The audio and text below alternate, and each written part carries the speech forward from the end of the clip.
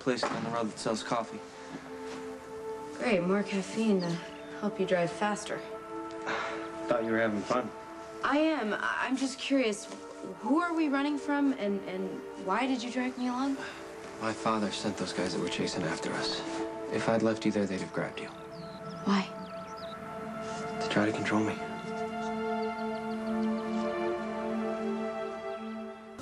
You think that they'll find us? I haven't seen anyone since I pulled in here. Did I miss that? So where you out? You were sleeping. So, how far are we from Port Charles?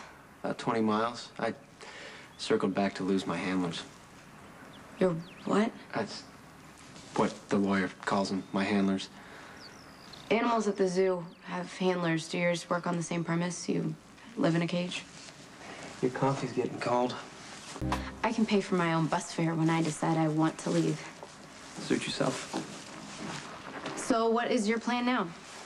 Well, maybe drive up to Canada, to Georgian Bay. I hear you have to drive past 30,000 different islands. Will your handlers keep following you? You ask a lot of questions. You don't answer a single one. So why aren't you leaving? I have no idea. Hey, where'd you learn how to pick a lock? Uh, my dad taught me. Figured I shouldn't know how to hotwire a car until I learned how to pick a lock.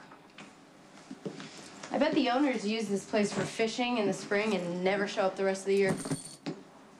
The fridge is probably stocked too, so we'll rest up and then I'll think about going with you to Canada. You don't seem in any hurry to get back to Port Charles. Well, I'm not ready to get in the middle of a fight between my dad and Logan. I mean, the truth is, I'm not ready to face Logan at all. I just need some time away to figure out what I want. Logan hurt me worse than anybody else has. But I know he regrets it, and it's not like I'm perfect. I've done things that were hurtful and wrong, too. What? I didn't say anything. You think I'm letting Logan off the hook so I can rationalize getting back together with him so I can keep my deal with Scott, so I can help my parents. And you're wondering why I got involved with a guy like Logan in the first place. But you don't know what my life has been like. I mean, yeah, I know. Who am I kidding? It's completely obvious that I'm trying to justify what happened, so I don't look like an idiot for letting a guy like Logan near me in the first place. Say something.